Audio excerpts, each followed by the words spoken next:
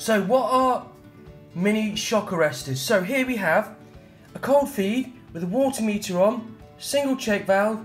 It comes up. Here we have the boiler, plate to plate, your heat exchanger, comes out the hot water tap across to a sink. So here we've got one problem, we've got a water meter and a single check valve. So that stops the water going backwards so it can't allow for any expansion. The boiler, no issues there.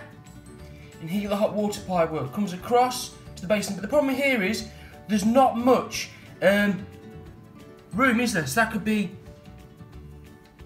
a second issue. The third issue could be the boiler. So the boiler, that could have plastics in. And if it's got preheat on, where the boiler just fires up to heat what's inside the heat exchanger, that could compact some pressure. So let's take, for example, with the boiler, there you've got the burner, that'll get to 75 degrees, and that could be about 1.5 bar. Here, this will get to 65 degrees,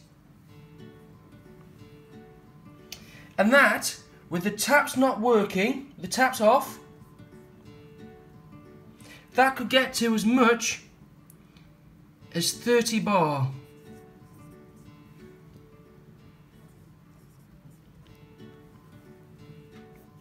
So here we have the boiler and it's fired up for hot water. The tap's running away. It comes in, the plate to plate's getting nice and warm, it runs in, it's running away. And the pressure's about right. And here you can see the expansion vessel, the mini shock arrestor looks getting nice and hot. But let's take for example, if you turn the tap off, if you turn the tap off and the boiler fires up momentarily under preheat or it needs, it needs some space to expand. So here we are. So here we have, the tap is now off, but the boiler's fired up momentarily or is switched off. You've got all the hot water, it's got nowhere to go. So what happens is the mini shock arrestor has now filled up. So basically, rather than all this plastic pipe or copper pipe burst under pressure, the shock arrestor is now gone.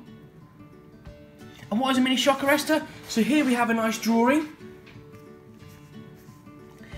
Here's a mini shock arrestor. It's full of cold water and it's charged up there. There you got a little Schrader valve. So you put your bike pump on, you charge it up to one or two bar.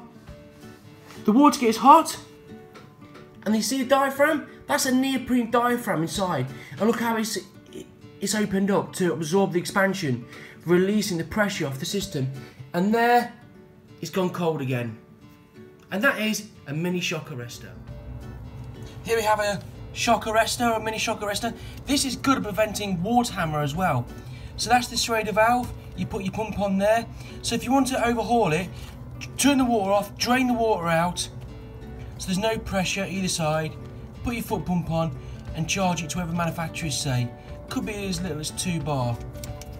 And the ring, that's where the near, neoprene diaphragm is. So here's the cold water main. The hot water's just over there.